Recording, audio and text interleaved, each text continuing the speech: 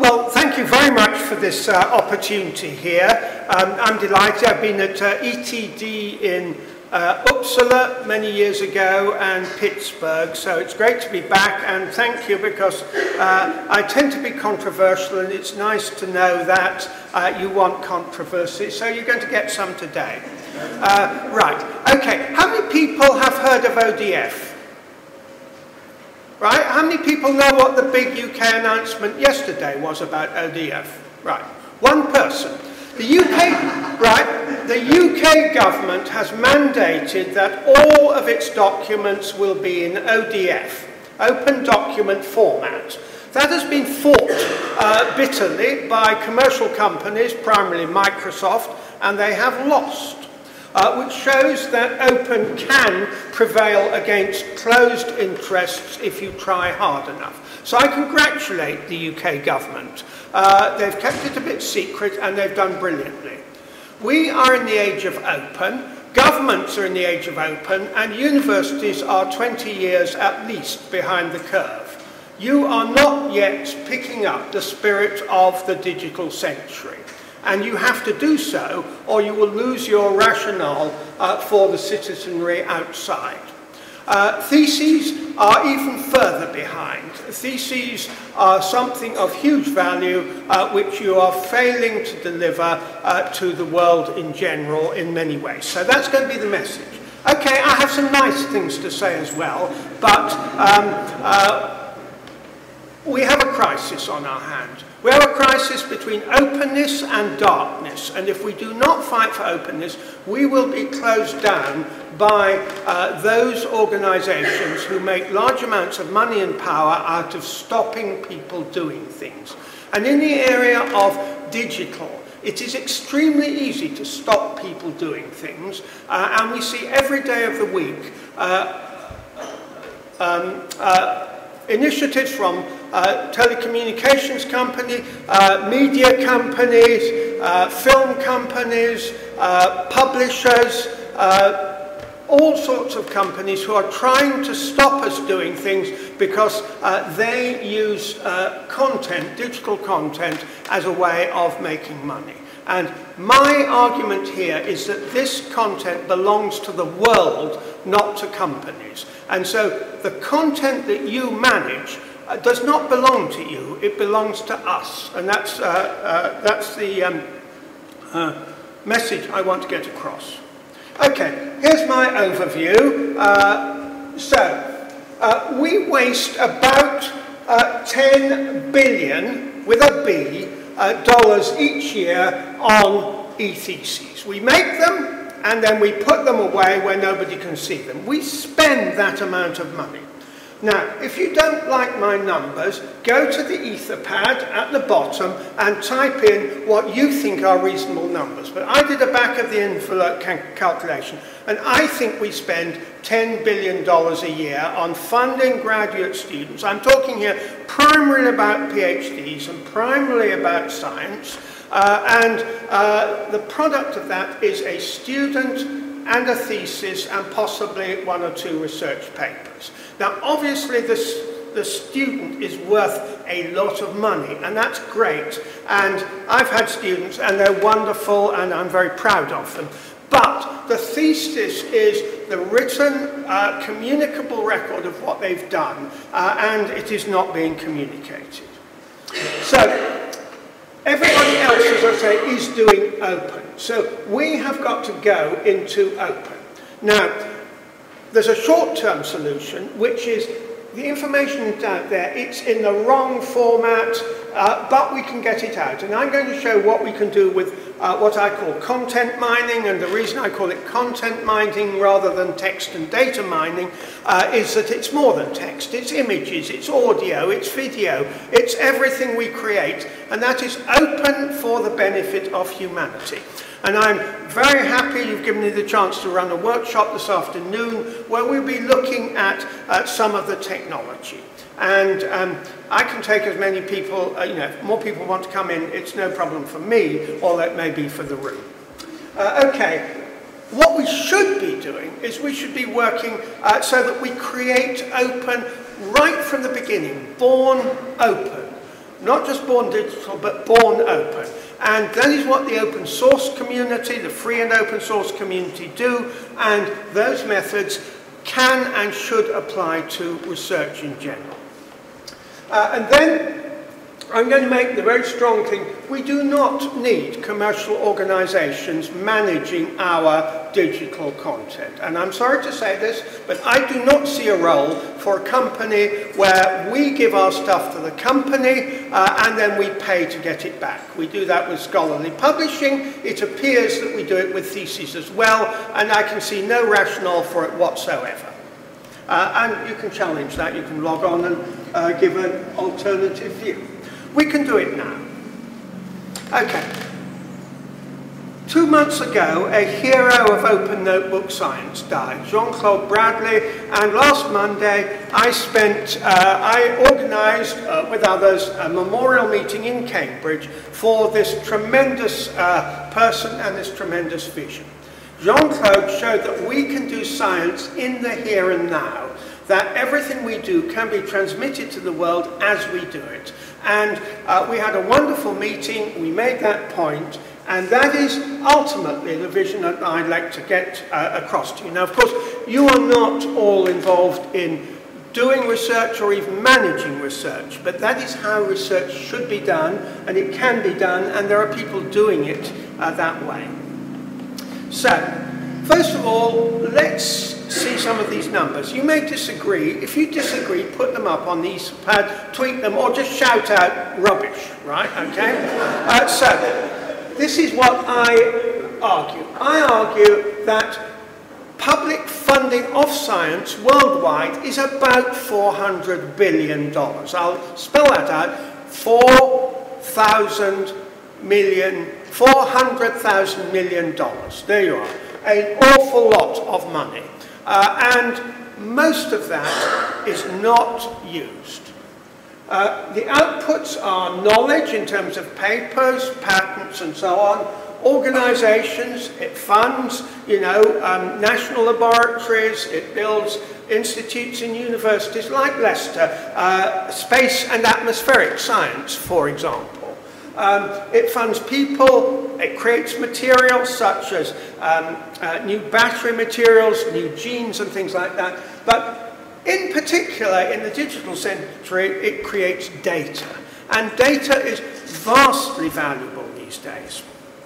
Okay, here's the Human Genome Project. Uh, the Human Genome Project cost 4 billion, uh, and that was uh, finished just about the turn of the century, 1999. And Battelle, uh, who are a well-known uh, consultancy company in the US, was asked by the US government, what was the value of the human genome? And they added up things like what jobs had it created, what new technology had it created, what new products had it created. And they uh, decided that the value was over $700 billion uh, so a multiplier over that period of about 140 times. So for every dollar invested, uh, you get $140 back. Now, I have some slight uh, concerns about um, uh, their argument because there are other things that contributed to that and so on. But for every dollar put into a graduate student, you had better get more than one dollar back or it is wasted right? So let's say that you only get $2 back for putting $1 into a graduate student. You're putting, whatever I said, 20 billion, 10 billion dollars. You should be getting $40 billion back in value from those graduate students, and much of that uh, is in their thesis. Okay, scholarly publication. Scholarly publication, uh, I imagine you all know about. Um, it, uh, we publish, uh, we, we put all this work in, we pay all this money, and then uh, we pay $7,000 to publish it. Each paper costs about $7,000. What's it cost to put on arXiv? arXiv costs $7. To put a manuscript on arXiv. Now, okay, you've got the refereeing and you've got various other things, uh, and Cameron Neylon from PLOS has calculated that's about 250 quid or something of that sort. So let's wrap it up and say it costs $500 to publish a scholarly paper. We're paying 10 times that. And why are we paying 10 times? Because we as academics want the glory we are paying for glory. We are not paying for quality because the quality in technical terms of uh, scholarly publishing is among the worst document formats that I have ever seen. Um, and it's uh, a scandal. Uh, and that's the first thing we should change. But where is the rest of the value? What is added by these extra $5,000? I don't see it. We have to have a different way of doing it. Um, so, um, we have other people saying that this is wasted. Here's the Lancet uh, saying that 85% of the research is wasted because it's not communicated, it's not done properly, it's not replicated properly, and so on. We've got, okay, uh, in PLOS medicine, poor access, poor dissemination. That's because we do our research in dark corners. We do not expose it to the light of the world. Once you start exposing your work to the world, you get increased quality, increased speed, increased knowledge sharing. I'm going to show how this happens in software. But what we do is we put a graduate student in a room uh, and say, you go and do this and don't tell anybody what you're doing uh, because we couldn't care less, you know, we're, we're deeply worried that people might find out about what we're doing. Okay. What happens if you ask scientists to put data somewhere 4% to? In some disciplines, I'm a crystallographer, we have built a culture over many years uh, where people do archive their data at time of publication, but it is the exception rather the rule. We've got the wrong model. You should not do your science and then put the data somewhere. You should be doing your science so that data is an integral part of your workflow and is it's not put anywhere, it is just part of it and available to everybody, and I'll show how to do that. Okay, so I use the term digital enlightenment, digital century. We have to think in terms of the 21st century. And if you look outside, there is huge innovation, there is huge development, and much of it is coming from young people. I've had the privilege uh, to speak with Neelie Kroes, uh, the European Commissioner for the Digital Agenda, and she says well, young people are wonderful. They said to her, Madam Commissioner, you are old-fashioned. You have to share your data. We have to share our data. We are out of touch with uh, the youth of today. Here's the world's knowledge. DBpedia, Wikipedia. I'm talking next week to uh, Wikimania, week after, I think. Uh, and uh, that is one of the great knowledge creations of uh, the 21st century. I believe that Wikipedia should be the primary annotation uh, mechanism for all of science, and that's the case I will make, and I will get their support. What happens in universities when Wikipedia came out, people said, Wikipedia is rubbish, you mustn't use it, it's rubbish. That is, shows how out of touch we are with the way that knowledge develops in a free-flowing, uh, open society.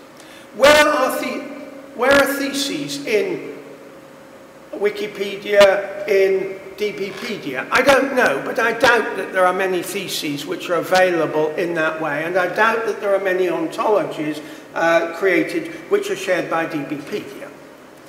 So, let's go back to e-theses. $20 billion a year, I calculate here. 200,000 science theses. I asked yesterday, somebody gave me a, a, figure of 25,000 theses for the UK. I multiplied it by 10. I don't know what it is. I'd like an accurate figure. Put it on the Etherpad if you can. Uh, I'm taking a figure of $100,000 for a three-year PhD student averaged over the US and countries which uh, don't pay as much to students and all the rest of it. Doesn't matter. They might be out by a factor of three. It's, the, uh, it's a general thing. So we've got all this money. uh, put into this, what do we get for it?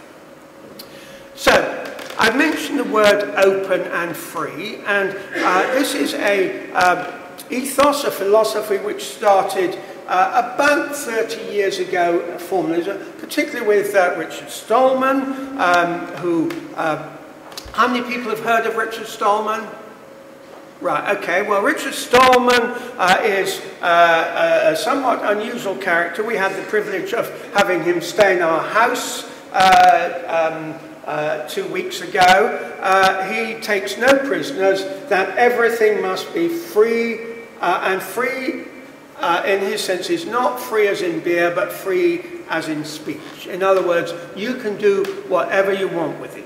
He takes issue with the word open. Um, uh, but I belong to the Open Knowledge Foundation, uh, so see, Open Knowledge Foundation, uh, and uh, it's been, we're now 10 years old, and we put huge amounts of effort into making knowledge open, deciding what open is, and making knowledge useful.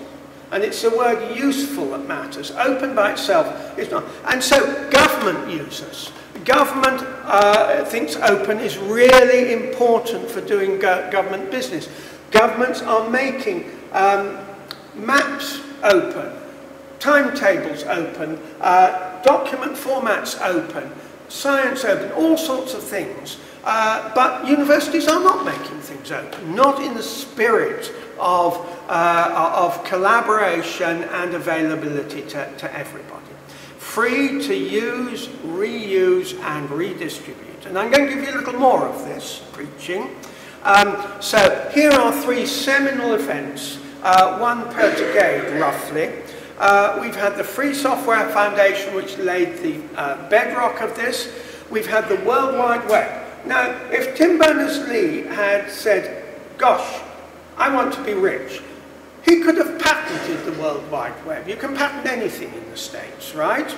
Uh, if you go to Texas. Uh, and um, he would have patented it. He said, you remember the 2012 Olympics? This is for everyone. The vision of Tim and people around him is tremendous. The human genome, the discoverers could have invented it, uh, could have patented it. Craig Venter tried to patent it. There was a race, and because the um, genome was done in public with no restrictions on the flow of information, the public initiative won. It was faster and it was better. And the human genome is again one of the great examples of open. But at the bottom, we see what happens when uh, we do not accept uh, and embrace this philosophy open, people die. Um, okay, so here's the Bermuda Principles. Uh, inspiring principles for sharing genome information. You are not allowed more than 24 hours uh, uh, if you are part of the Human Genome Project to put that up on the web. Uh, make it available to everybody. So science is done in the open for the benefit of everybody. And here's the uh, Budapest Declaration of Open Access. It's worth reading because open access as practiced in universities and publishers is a travesty. It's not open. It's a bureaucratic nightmare.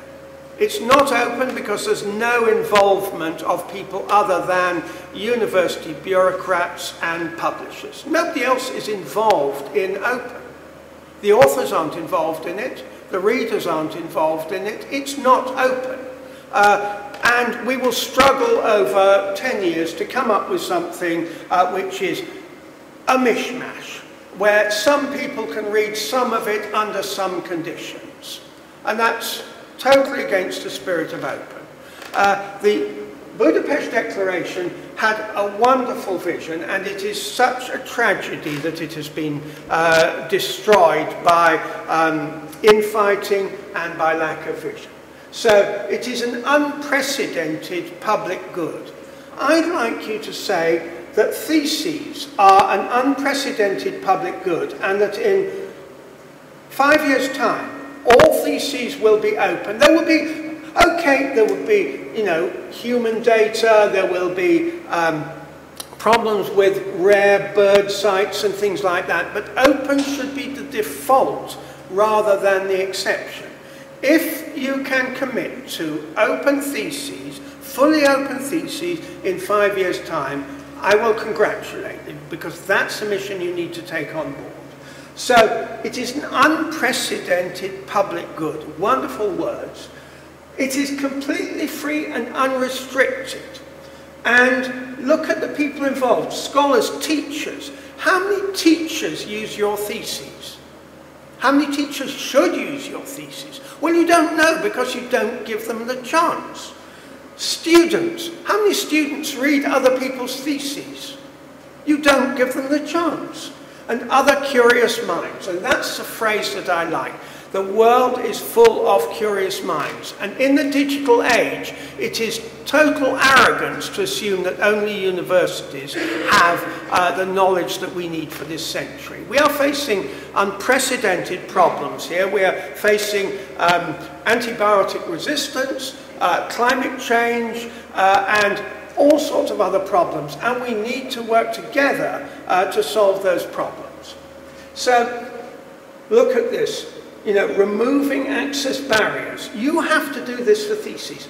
You share the learning of the rich with the poor and the poor with the rich. We are not making our riches available to the world, and we are not interested in, uh, uh, in consuming uh, what is put out by uh, the global south.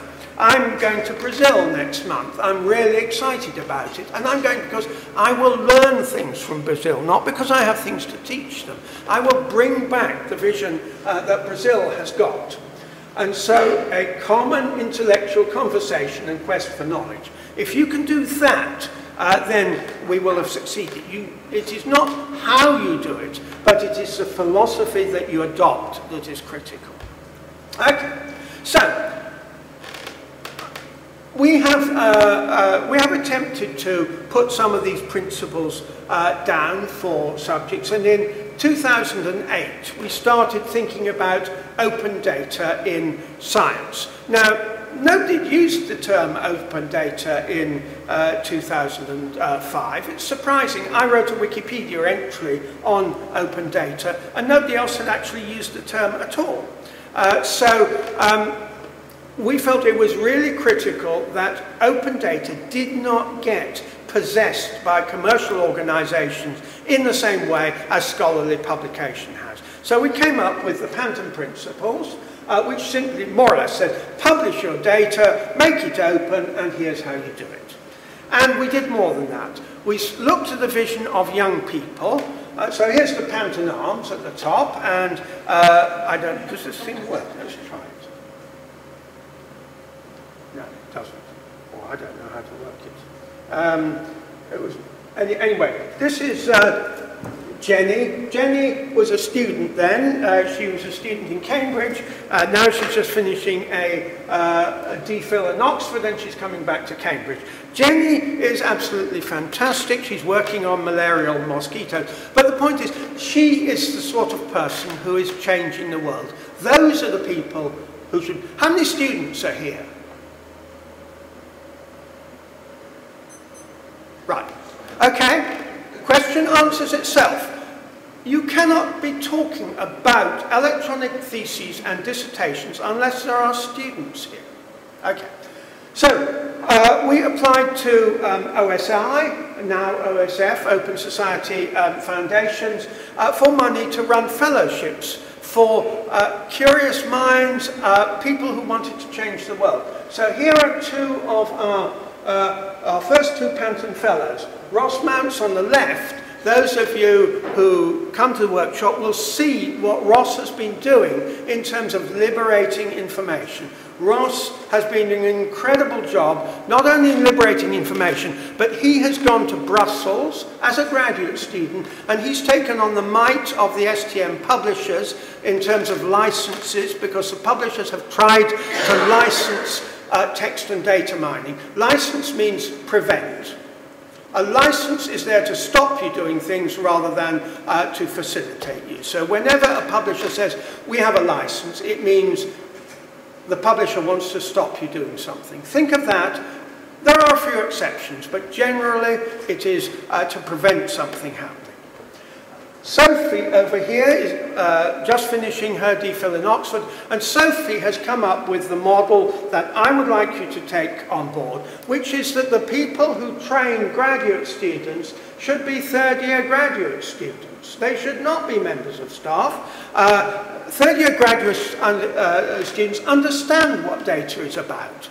They are the people who see where the future is. And Sophie has been doing a brilliant job in Oxford uh, in training the next generation uh, of graduate students. Okay, so problems, I'm not going to spend much on this because I've hinted at it already. Um, this is not me, this is the Vice-Chancellor of Cambridge University. And the Vice-Chancellor of Cambridge University, asked by my colleague Michelle Brook, uh, should we be spending money on Elsevier, um, says, I regret it, they're large enough, but it is the statement down here that really matters.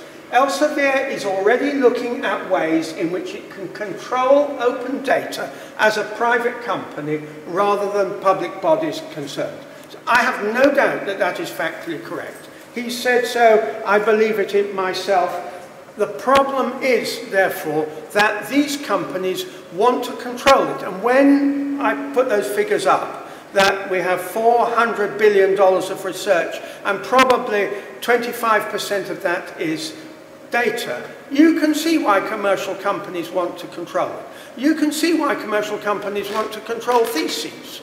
It's very, very lucrative, and it's also very, very easy because digital control is incredibly easy. You have two mechanisms. You have the technical infrastructure and you have lawyers. And of those, the most frightening is lawyers. So you have all seen uh, DMCA takedowns. As a community, you have to fight harder for your rights. Because if you give in, if you say, well, we don't know what this is, so we're not going to do it, uh, your rights will be gradually eroded just by practice. You will wake up and find out that although you've actually got rights, there are people already camped uh, on your land. Uh, and that's what's happening at the moment.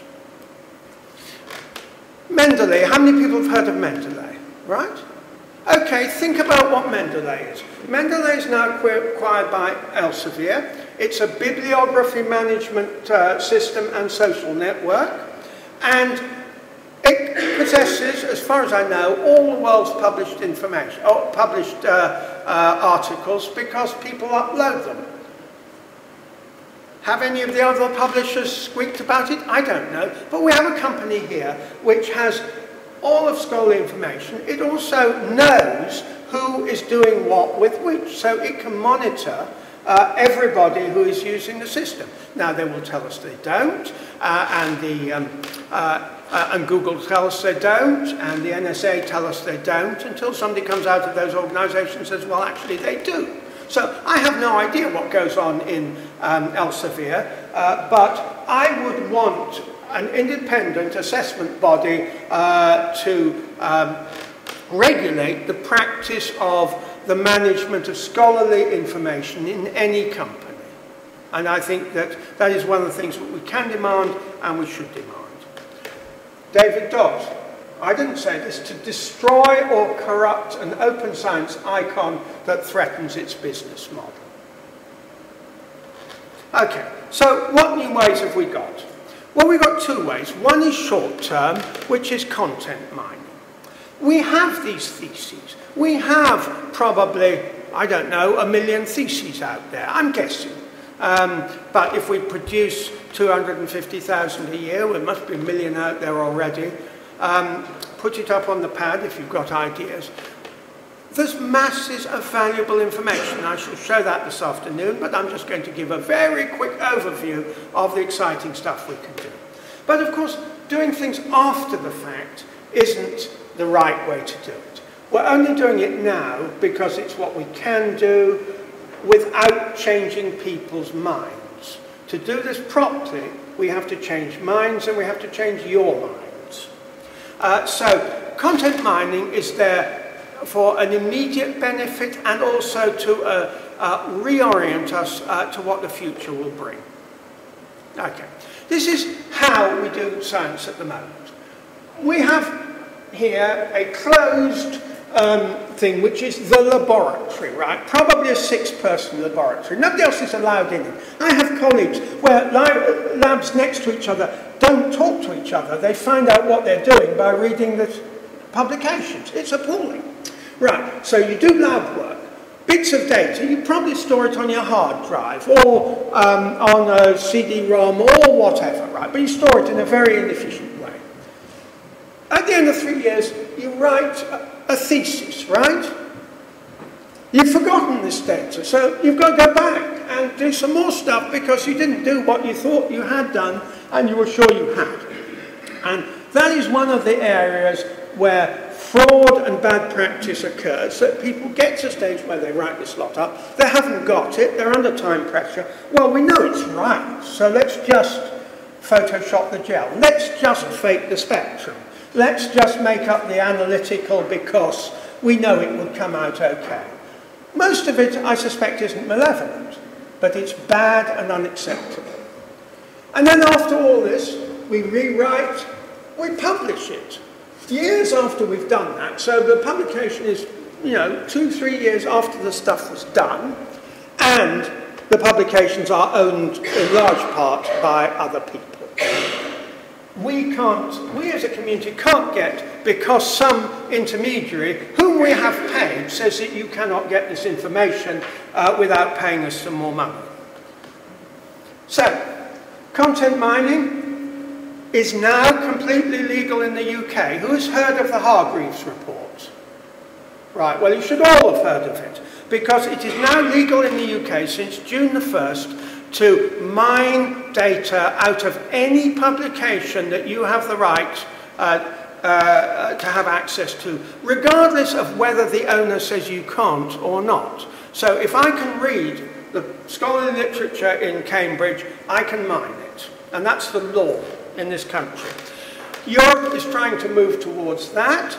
Uh, it's questionable whether fair use in the US or not covers that or, or, or, whatever. But it is now the law and you should promote that. So I, if you put restrictions on your repositories with your thesis, which many people do, I can still come in and mine that and get the facts out of it without your permission.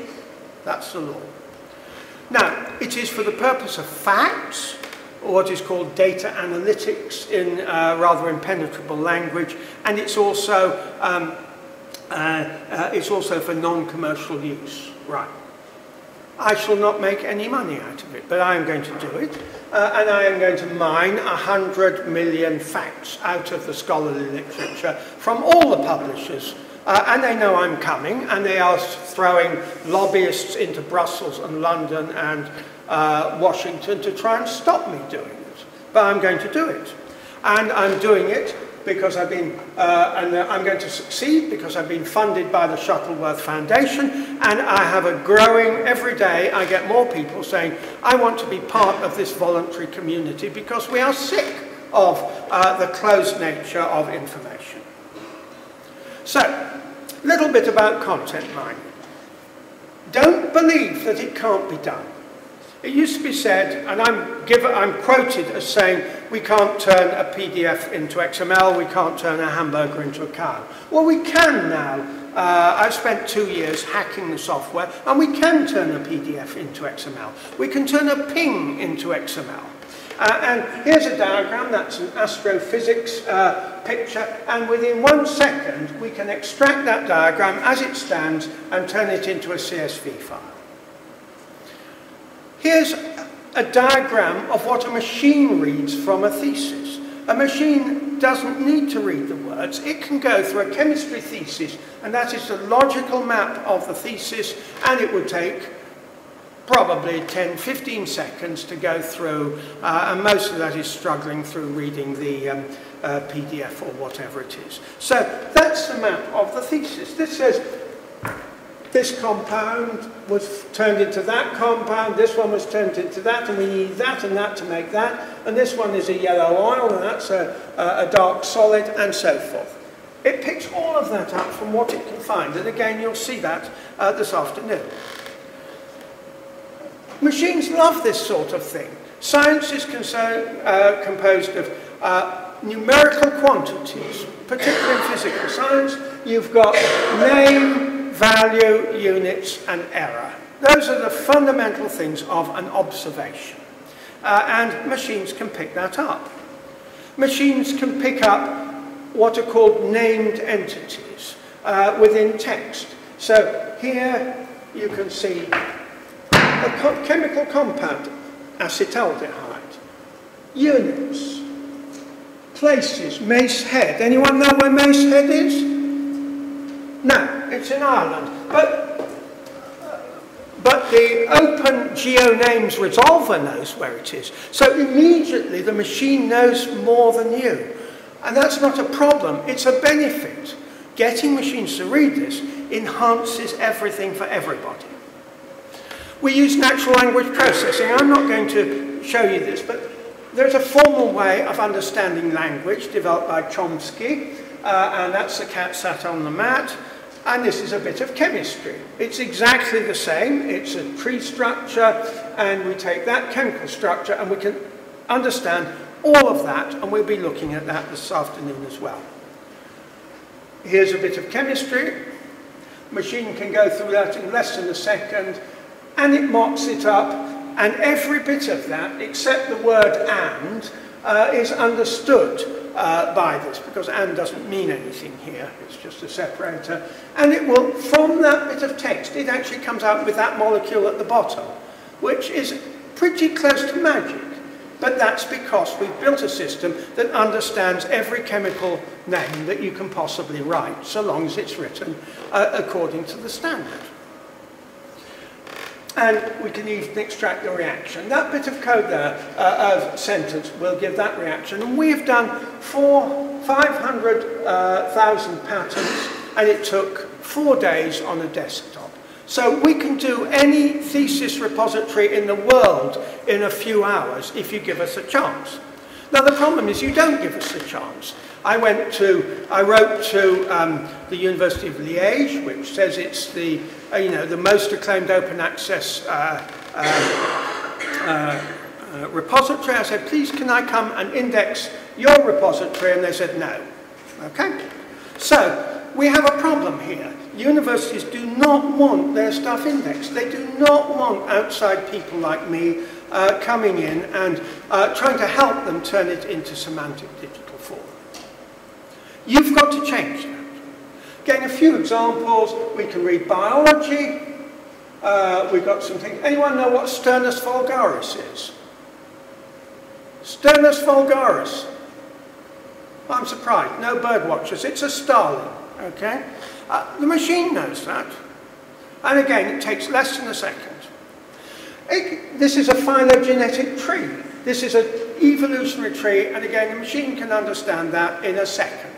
And pull, it can take the whole of that diagram and pull out uh, the complete semantic structure and turn it into XML and so on. So, that's just sticking plaster because it's not the right way to do it, although it's actually very useful because it uh, enhances our appreciation of the semantics that we should be using. So it is a very good way of generating ontologies uh, and semantics. What we should be doing is open notebook science. How many people here have used either Bitbucket or GitHub? Right, okay. They are repositories, and they are what repositories should be. Uh, and so this is how open source software, or free and open software, uh, develops. And I will point this out again. So here's me. I write code. Every day I write code, I commit the code back to the repository several times a day. Every time I do that, the code is validated. It tells me if I've made mistakes. It's very smart. There are hundreds of person years gone into creating this, probably thousands. Uh, it's called, you know, there are tools like Eclipse and so on. So this, I do this not because of some duty to reposit it in the project. I do it because it provides me with value. You've got to get to a stage where your repositories are there because they are actually seen as valuable by the people doing the work. So, I do this. I don't start from scratch. I build on top of somebody else's code. So the code you're going to see this afternoon um, is built on top of PDF Box, which comes from Apache. And because I buy into this, I say other people can reuse my code. You know, it takes a little bit first time. Oh, you're going to make the code available. People might use it. You won't know who they were. They might not thank you and so on. They have to acknowledge you. That's it. That's the rule. Um, all open source licenses are mapped pretty closely onto CC BY. Um, and there are other people using my code. And I'm delighted that they're using their code because it enhances the community. I have created a community in chemistry called the Blue Obelisk where we all use each other's code. Uh, there are 20 different groups uh, and the cost is $20 a year in buying them Blue Obelisks, okay? Uh, and um, we're inspired by what other people do. We can fork. The whole thing works and go to any software developer and they will tell you this is wonderful. Science in universities should be like that. Repositories should be like that. You should never use the word put. You should use the word commit, because commit is part of an ongoing daily uh, validation of what you're doing. If you have this system here, you cannot have fraud. There's a complete record of everything that's done every minute of the day. You can't have invalid stuff, or if it is invalid, it'll tell you. So you don't wake up uh, three years later and find that something doesn't compile. While I'm here, there's a machine in Cambridge compiling my code every 20 minutes to make sure it still works. It's called continuous integration. I talked about graduate students. Here's Sophie Kershaw uh, in Oxford at their doctoral training centre. And what she's doing is she's training first year students in biocomputing. She's using exactly these models. And if you see here, you'll see the word modify, commit, push. And those are the terms that come out of the software repositories. Change, commit, push, all the time. And uh, what she's doing is, is rather exciting. Um, here are her students saying it's wonderful. That's Sophie at the back. Um, she wears red stilettos. She's very proud of it. She calls herself the stilettoed mathematician. So. Um, and the idea here is you've got two groups, uh, and this lot does, top lot 8D does cancer, the bottom lot does infectious disease modelling, and they don't talk to each other for 10 days. They work on their projects, not allowed to talk to each other. At the end of uh, 10 days, A gives their code to E, E gives their code to A, and the only thing they're allowed to look at is the documentation with the code. And the question is, can they reproduce the experiment? It's a computational experiment, so they're not worried about uh, mice dying and chemicals going off. It's only code. And that's an incredibly good discipline because if you can do that and other people can actually use your, uh, the whole of your experimental design, then you know you've captured the experiment. And only then. If we do that, it'll take a few years to get into the spirit, but then we will have an order of magnitude better science. So, this was, uh, the vision was picked up by Jean-Claude Bradley 10 years ago, uh, and he came up with the idea of open notebook science. It's exactly the right term, and he practiced it uh, since 2006 until his death earlier this year. Here you've got his homage to um, open source, and you'll see at the bottom Normally, failed experiments are never represented in publication. Here, the failed experiments go in. They're not failed. They are experiments which didn't turn out as expected, and if you're a careful worker, they tell us something. Most chemical syntheses don't work, right? Most drugs don't work. You know, that is, uh, that, so we need to know about And if you only talk about the successes, then people are doomed to repeat the failures. And here, Jean-Claude is saying at the bottom, no insider information. In other words, anybody outside should be able to have a complete vision of what's going on. This has been promoted by Michael Nielsen uh, in this groundbreaking book, Reinventing Discovery, where he comes up with the ideas of the value of community. And Tim Gowers, who's come up with the Polymath project. Now, Tim is a Fields Medalist, which is the equivalent of a Nobel laureate, uh, and he created a completely meritocratic community. And they're not all academic mathematicians, and they proved one of the hardest unsolved problems in mathematics. And here's one of them that they're working on at the moment, a problem in uh, complexity. Here's Jean-Claude. See, this is a typical chemical experiment, uh, and that is put online as, as it happens. That's the design of the experiment, and this is uh, the record. In the notebook goes everything here. You've heard of people photoshopping gels. You can't photoshop a gel if you committed it last week into a machine that everybody can see. And here you can see, this is the record these are hours and minutes, so every minute they record what they've done. Now, we need slightly better tools. I think we need the same, perhaps, two or three years of tool development that we had with the software repositories. The first software repositories were pretty awful, um, RCS and uh, uh, CVS. Now, uh, they're much, much better. So that evolves. We need an evolving uh, science system. Spectra will put in it. And here, I'm actually just going to leave this, this is the last slide, uh, to say that what we've got here is how we see science done in the open notebook model. The world is inside the world, walls, not outside it.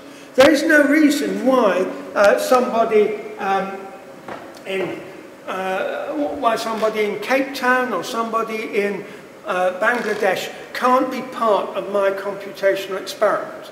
And uh, the rest of the world is, the global south is actually, in some cases, doing better than us. Uh, India has an open source drug discovery program where everything is done by these methods. Matt Todd in Australia has an open source malaria uh, discovery program. Remember, research is not just for academic glory, it actually stops people dying. And on that I'll finish.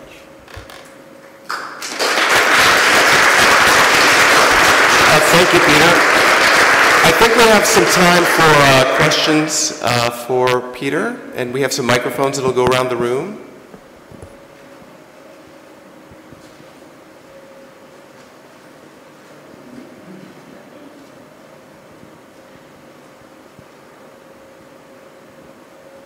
Thank you. That's provocative as ever. Um, I want to make two points which do connect. Um, first is if you take one line of your argument seriously, then perhaps egos should be removed. And so rather than talking about committing my code, you should just be talking about committing code. Because you, don't, you didn't actually create all of it, and you're giving it to the community, that will be modified, and then it comes back. So that's one point. It's not really your code. Second point is that as a doctoral examiner, I have to make a judgment that the thesis that I am examining is the work of the person sitting in front of me.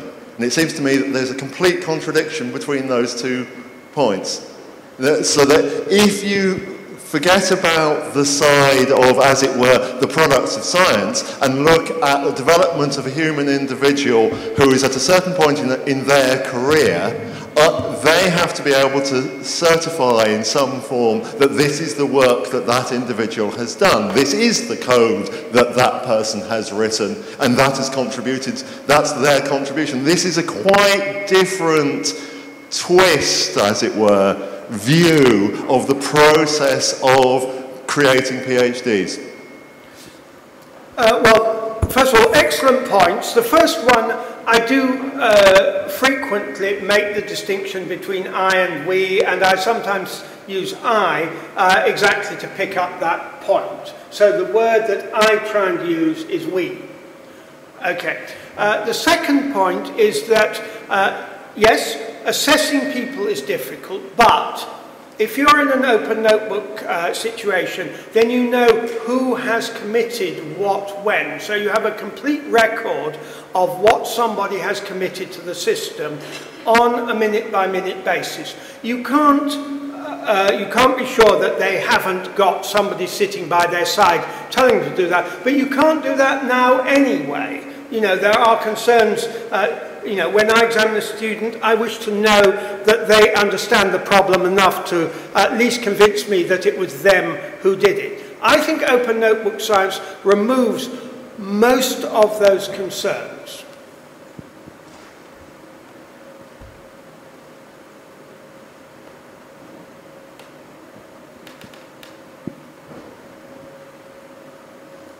Well, while you're thinking up the question, this kangaroo AMI is the mascot of our software, uh, and uh, is it Ben who, invent, who, who invited me?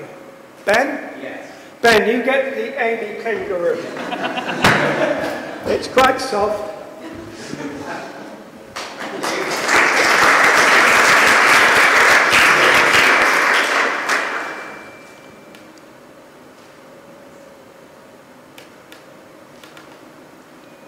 If you, oh, there's one at the back.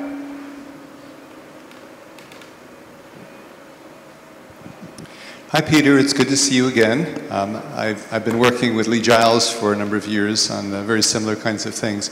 Um, just to update you a little bit, um, the Union catalog that we run has 3.7 million works in it. Uh, we're happy for you to work with it as much as you'd like. Uh, by contrast, ProQuest, which is one of the groups that's represented here, and we're happy for them to be present, has about 3 million works from their many years of uh, involvement in this activity. Uh, so, and there are a number of people doing interesting research with content mining and classification and other kinds of things. So uh, we're glad to have you join this, and, and certainly a, a, lot of the works in our collection are, are chemistry, which requires, you know, some special processing. Uh, but the, some of the problems are a little bit more difficult in this area because we have content from everything. You know, it's every discipline, every language. Um, so we, we need your help and we hope that you can help us um, find others to contribute into this, this scene and make this work even more useful. Well, that's fantastic. Um, that's fantastic news. Um, so uh, to add on to that, you've got 3.7 million theses, not just a metadata, right? and you've got 3 million theses, and I can access all of these theses uh, without any permissions. Is that right? Can I access all yours without permission? We should talk about data mining. There was just a session about data mining ProQuest. We have no problem with you data mining in non-commercial purposes. Okay. Well, uh, okay. Well, I will start this afternoon. Uh, so. I, am going to say another controversial thing. Machines are better at classifying documents than humans. Google's shown this. So if you want to know whether something is a chemistry thesis, you ask the machine, is there any chemistry in it? You've seen the machine pick out chemistry. You don't need a human to tell you it's a chemical thesis. And of course, some of these theses contain many different disciplines. Uh, you, uh, we've got a system that does species. uh, we can go through and pull out, pull out species in the same way as we can pull out chemistry. So if there is uh, a thesis which contains species and the chemistry associated with them, we've immediately got uh, metabolism, we've got pheromones, uh, we've got disease, we've got all sorts of disciplines which require both of those uh, at one time. Uh, Sarah Gould from the British Library. You said that universities don't want to have their theses mined. Um, I wondered what advice you would give to the British Library. We hold over 100,000 theses, so something like 40 million pages of PhD research in the ETHOS database. Um, being the National Library, we are careful to adhere to copyright and all um, IPR issues. Would you advise us to hand over those 40 million pages to you tomorrow and um, allow you to do as much content mining as possible from them without any regard to permissions um, or the views of the universities themselves? So the first question is, you hold them. Are these uh, digital theses or are they um, uh, made of dead trees?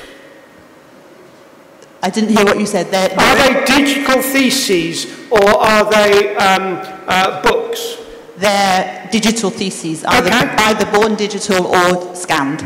So you don't hand them over to me, uh, I take a copy of them. So there's no cost involved in copying digital in the modern world. Uh, if you point me at where these things are listed, I can copy them without you having to pay anything. Now the question is, uh, what am I going to do with them? Uh, Hargreaves allows me uh, to extract facts from them without your permission. I mean, I would love your, uh, I would love your blessing, but I don't need it. Uh, I can extract the facts and I can publish them for non-commercial purposes.